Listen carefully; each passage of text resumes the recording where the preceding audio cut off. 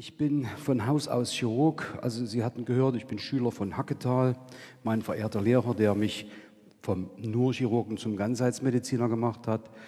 Und wir führen seine Therapie in einer anderen Einrichtung, eben in der Klinik Marinus am Stein in Bayern, fort. Natürlich mit, mit zusätzlichen äh, Dingen, neuen Behandlungsformen, mit komplementären Behandlungsformen in der Krebstherapie. Wir sind für alles offen und das war vielleicht auch Ausgangspunkt, dass wir gesagt haben vor zwei Jahren, als wir das besprochen hatten, warum nicht? Warum sollte man nicht das Wasser in die Therapie einbringen können, ohne damals gewusst zu haben, dass es nachweislich so ist? Es war ja auch eine empirische Sache. Wir wussten, dass die Bedeutung des Wassers in der Therapie von Krebspatienten, nicht nur von Krebspatienten, wichtig ist und in der Vergangenheit an Wichtigkeit zugenommen hat. Wir haben den Ausgangspunkt gefunden vor zwei Jahren. Und es ist ja so, wir behandeln in der Klinik äh, Patienten mit Krebs im Rahmen einer komplementären, nicht nur alternativen Krebstherapie. Wir versuchen schulmedizinische Dinge mit komplementären Dingen zu verbinden. Und die letzten Jahre haben doch ganz deutlich gezeigt, meine Damen und Herren, dass die Bedeutung der komplementären Tumortherapie an Bedeutung gewonnen hat. Wir brauchen oder wir sind auch auf der Suche, wir Ärzte, die wir ja manchmal, und das haben Sie mir gelernt, Herr Pflege, die wir sagen müssen, ich bin hilflos, ich kann nicht raten, ich weiß es nicht. Das ist schwer, wobei es so einfach ist, hier Ehrlichkeit walten zu lassen. Und deshalb sind wir und ich natürlich auch auf der Suche für Heilmethoden, die in ein Behandlungsprogramm mit eingebracht werden können. Wir haben im Rahmen dieser äh, Therapie, die wir führen, natürlich auch regelmäßig Kontrolluntersuchungen. Äh, wir sind auch in der Lage, die freien Radikale zu bestimmen, was wir in der Vergangenheit schon viele Jahre tun, um ganz einfach zu sagen, ja, was sind freie Radikale? Es sind Moleküle, deren fehlt eine Ladung, entstehen durch Negativstress, durch ungesunde Lebensweise, können dazu zu Störungen in, auf der orthomolekularen Ebene führen und damit Krankheiten verursachen. Es ist aber auch so, dass bei vielen schon Kranken eine sehr hohe Belastung durch freie Radikale vorhanden ist und dass man therapeutisch hier Wege sucht, um die freien Radikale zu senken. Ganz einfach, um die Unordnung des Körpers oder diese, äh, un, diese praktisch diese Aggressivität dieser freien Radikale zu senken, die Anzahl zu senken. Das war das, was wir immer mit versucht haben, was wir auch in der komplementären Tumortherapie wissen, dass zum Beispiel Vitamin C, Selen, Kakao ist auch ein guter Radikalempfänger, Darum empfehle ich immer mal ein Rippchen ganz dunkle Schokolade, wenn das sehr hoch ist, dieser Wert, dass wir das gesucht haben und natürlich auch mit eingesetzt haben. Viele Erkrankungen werden durch freie Radikale mit verursacht, wie gesagt. Und nachdem wir zum Beispiel schon viele Jahre vorher Wasser mit empfohlen haben, gesundes Wasser, sind wir vor zwei, drei Jahren mit Herrn Abfalter zusammen äh, der seine Beobachtungen empirisch gemacht hat und uns sagen konnte, Mensch, die Leonhardsquelle ist ein gesundes Wasser, setzt es doch mal mit ein. Und das haben wir auch mitgetan und haben bemerkt, ohne es messen zu können, dass die Menschen gesagt haben, ja, es tut mir gut. Ganz einfach. Es tut mir gut.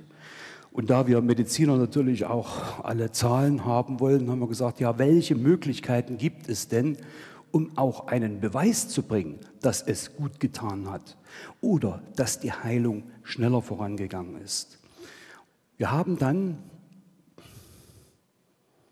wie gesagt, das ist praktisch die wissenschaftlichen Studien, die wir dann begonnen haben und haben dann gesagt, gut, wir wollen versuchen mit einer Methode hier Zahlen zu präsentieren, die beweisen können, dass die Quelle, das Wasser, im Körper gut wirkt und zu einer schnelleren Genesung, nicht nur zum sich wohler fühlen, wobei das natürlich zusammengehört, aber zu einer schnellen Genesung führen kann. Wir haben dann in einem Zeitraum von, und jetzt kommen wir ein paar nackte Zahlen sozusagen, das gehört ja auch dazu. Wir haben im Zeitraum von äh, anderthalb Jahren 270 Patienten untersucht.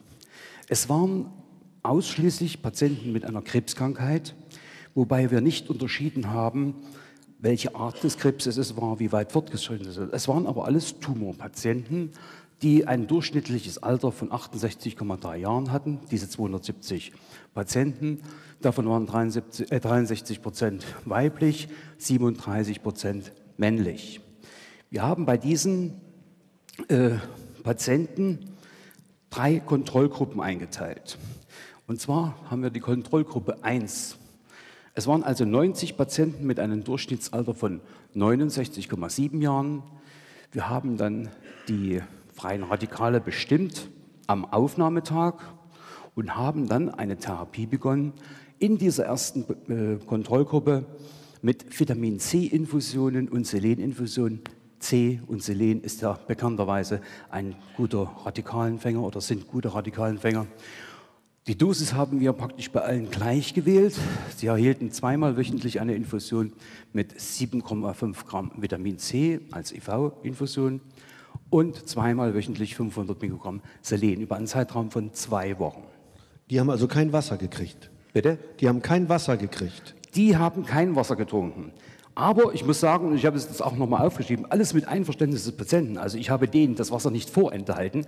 Ich habe sie ganz einfach gebeten, macht ihr an einer Studie mit, die allen helfen können, dann ist es ja entscheidend, was der Patient will. Ich, ich kann also keine randomisierte Studie durchführen und dem Leitungswasser in die Leonsharzquelle füllen und dann eine Studie machen. Da kommt bestimmt auch was raus, aber das kann ich praktisch ethisch nicht machen. Also ich kann sagen, macht ihr mit und wer mitgemacht hat, der hat es auch konsequent durchgezogen, sodass wir bei diesem Patienten praktisch nur in der ersten Kontrollgruppe ja. mit Vitamin C und mit Selen behandelt haben.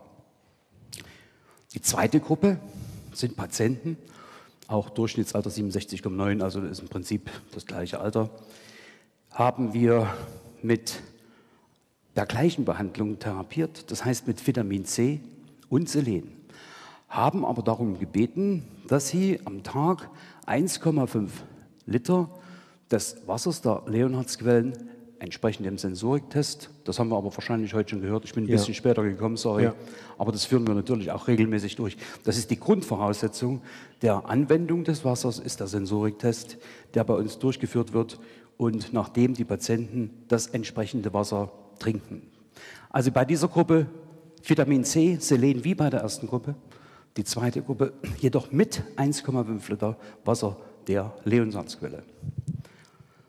Dritte Gruppe, auch Alter 69,3 Jahre, hatten die gleiche Bestimmungsfrequenz und diese Patienten haben nur und nur das Wasser der Leonhardsquelle entsprechend dem Sensoriktest getrunken. Haben die nicht Angst, wenn man ihnen in unseren Zeiten kein Vitamin C Wasser gibt? Ich kann mir vorstellen, dass Tumorpatienten sagen, wir rechnen mit jedem Tag, wir wollen das tun.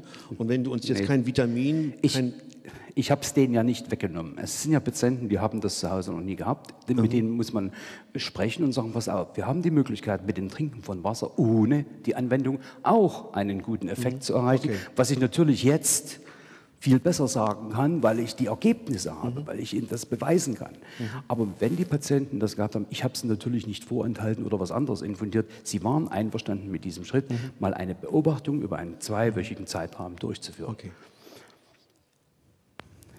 diese freien Radikale, von denen wir vorhin gesprochen hatten, haben wir gemessen mit einem Gerät der Firma Form CR2000, so ist der Name, ich kann nicht immer sagen, was das CR2000 heißen soll.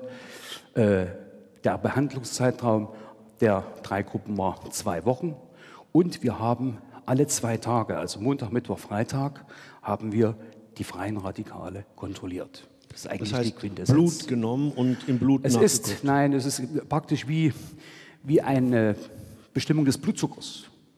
Mit so einem Pin, ein ganz kleiner Stich in den Finger und dann nimmt man eine Kapillare ab. Und diese Kapillare wird praktisch nochmal gelöst, zentrifugiert und wird dann praktisch untersucht und man bekommt den Ausdruck aus dem Gerät. Mhm.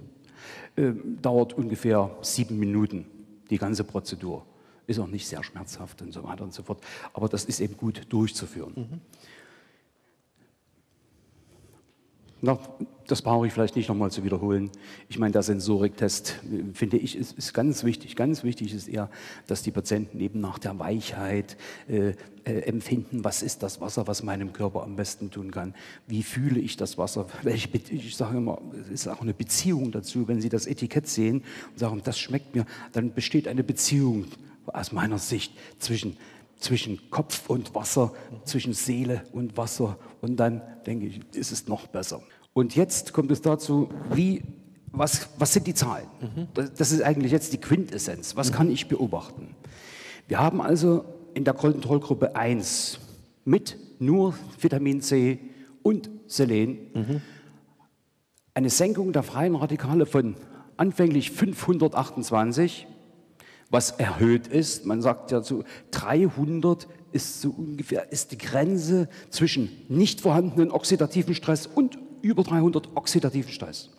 Und wir konnten hier innerhalb von 14 Tagen eine Senkung von 528 auf 296 K, K.U heißt Cardatelli, das ist ein Professor gewesen, Physiker in, äh, in Italien, und der hat praktisch diese Maßeinheit kreiert also abgekürzt KU, äh, konnten wir diese freien Radikale auf 296 nach 14 Tagen senken.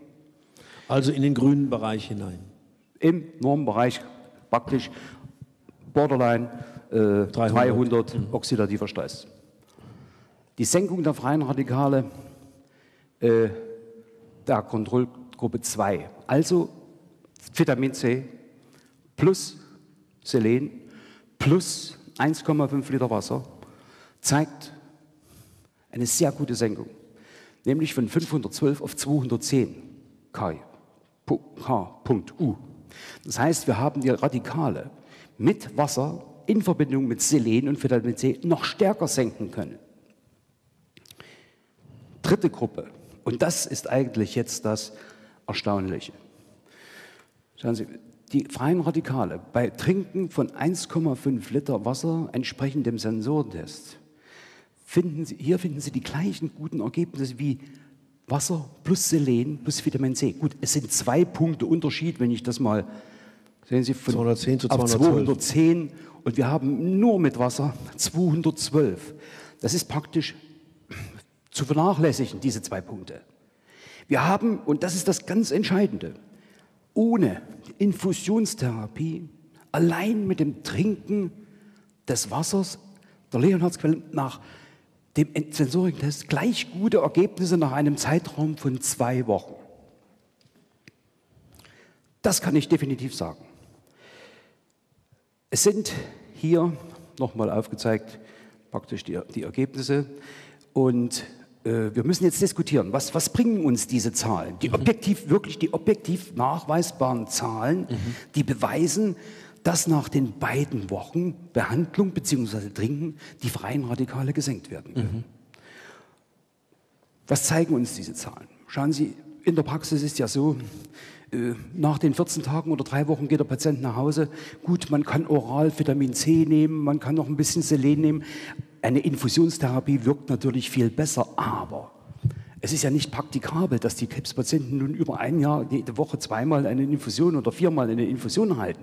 Das heißt, wir suchen doch wirklich praktikable, einfache Lösungen, die wirklich wissenschaftlich beweisbare Erfolge haben.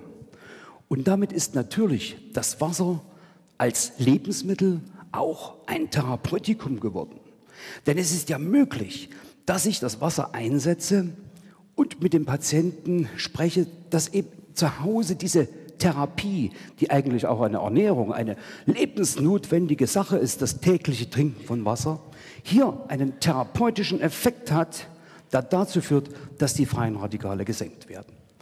Das ist eigentlich der, der entscheidende Schritt für mich, und deshalb freue mich ich mich auch, dass ich das mal öffentlich sagen darf, dass man mit dem Trinken von Wasser einen therapeutischen Effekt hat, um die freien Radikale zu senken. Also nicht nur die Empirik, dass es gut tut und so weiter und so fort, sondern dass ich sagen kann, die freien Radikale werden gesenkt. Kritiker, und da bin ich vielleicht in der Beweisnot, sagen natürlich, ja, was bringt denn das, die freien Radikale? Mhm. Hast du jetzt Patienten, die sind krebsfrei, weil sie das Wasser getrunken haben? Da muss ich natürlich sagen, kann ich nicht beweisen, äh, muss weiter untersucht werden. Und das ist auch mein Anliegen. Ich muss natürlich eine gewisse Langzeitstudie machen und sagen, ja, wie ist es denn bei einem Patienten, der das wirklich konsequent mal ein Jahr trinkt mhm. oder anderthalbes Jahr, mhm. um dann zu sehen, wie ist das bei welchen, die das eben nicht getan haben. Mhm. Und da müssen wir dranbleiben, denn es ist ja für uns Komplementärmediziner und Heilpraktiker, alle Therapeuten wichtig, dass wir auch gegenüber der Schulmedizin ein bisschen was in der Hand haben, mhm. was beweisbar ist. Mhm. Denn sonst wird immer gesagt, okay, äh, das mag gut und schön sein, aber du kannst du nicht beweisen. Mhm. Ja? Und da ist es vielleicht der erste Schritt oder das sind vielleicht die ersten Zahlen, die zum Beispiel beweisen, dass das Trinken dieses Wassers gesund ist, nachweislich die freien Radikale senken kann und damit auch als therapeutisches Nahrungsmittel eingesetzt werden kann. Einfach, praktikabel und über einen langen längeren Zeitpunkt. Das ist eigentlich jetzt das Fazit dieser ganzen Geschichte.